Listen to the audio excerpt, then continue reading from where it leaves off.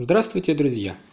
Некоторое время назад в обзоре потолочного светильника E-Light Smart LED упоминался одноклавишный настенный выключатель Akara, который управляет этим светильником. Я решил немного подробнее рассказать про это устройство, чему и посвящаю этот обзор. На момент покупки на AliExpress данный выключатель стоил 21 доллар 37 центов. В момент создания этого обзора он уже стоит немножко дешевле. Однако сейчас проходит распродажа в магазине Gearbest, где версию такого же выключателя, но с двумя клавишами, можно купить за 19 долларов 99 центов. Версии с одной клавишей сейчас там почему-то нет. Это, несомненно, выгоднее не только по стоимости, а и по функционалу, так как на вторую кнопку можно повесить выполнение любого сценария.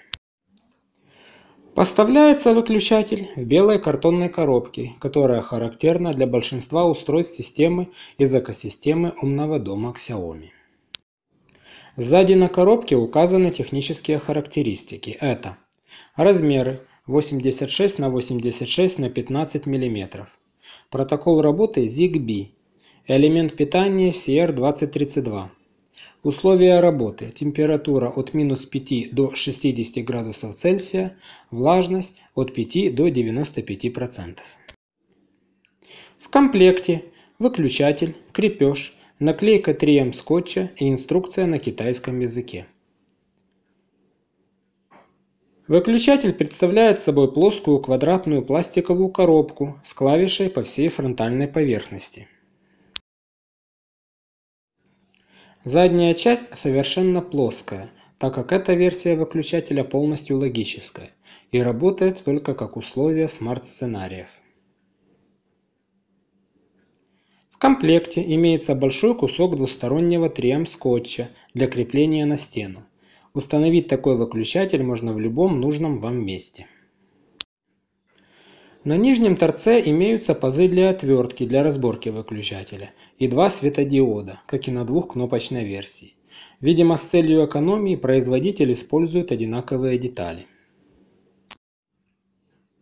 Основные размеры выключателя также полностью идентичны уже обозренной мной двухкнопочной версии выключателя с физическим размыкателем и составляет 86 на 86 мм. Вес выключателя 82 грамма.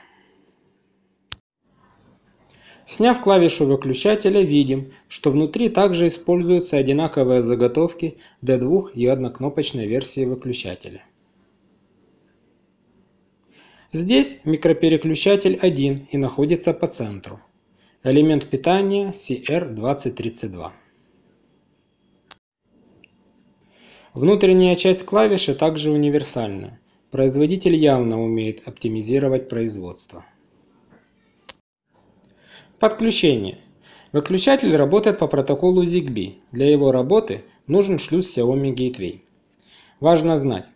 Смарт-розетки, про которые я уже рассказывал в своих прошлых обзорах, которые работают по протоколу ZigBee, они же по совместительству являются ретрансляторами сигнала. Могут себе позволить, так как имеют доступ к сети электропитания. Достаточно просто подключить розетку к шлюзу и включить ее в сеть. Включено в нее что-то или нет, активирована ее работа, имеется в виду статус он или нет, не имеет значения. Процесс подключения стандартен. Выбираем тип устройства из списка Subdevice, нажимаем на кнопку и процесс подключения завершен. После того, как устройство сопряжено с шлюзом, оно появляется в списке подключенных устройств. В отличие от версии с физическим размыкателем, своего плагина оно не имеет. Сравнить выключатель можно с беспроводной кнопкой, которую я также обозревал. При нажатии на строку устройства попадаем в окно управления с двумя вкладками, список сценариев, в которых участвует выключатель и журнал работы. В отличие от втрое более дешевой кнопки, этот выключатель имеет только один тип действия – одиночное нажатие. Напомню, что кнопка имеет их три – одиночное, двойное нажатие и удерживание. То есть вся ценность этого устройства именно в его форме классического большого и удобного выключателя. Логики тут немного. Одно единственное действие – сингл-клик и естественно работа в сценариях только в качестве входного условия. Лично у меня он работает как выключатель умного потолочного светильника E-Light Selling Light.